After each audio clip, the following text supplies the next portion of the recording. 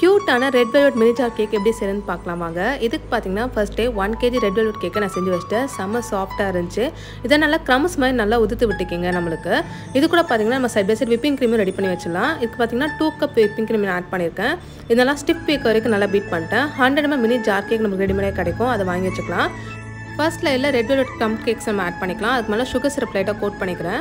Next layer பார்த்தீங்கன்னா நம்ம ready பண்ண விப்பிங் க்ரீமை நல்லா ஈவனாக ஸ்ப்ரெட் பண்ணி வச்சுக்கோங்க. அதுக்கு மேலே நெக்ஸ்ட் லேயர் நம்ம கேக் லேயர் ஸ்ப்ரெட் பண்ணி வச்சுக்கலாம்.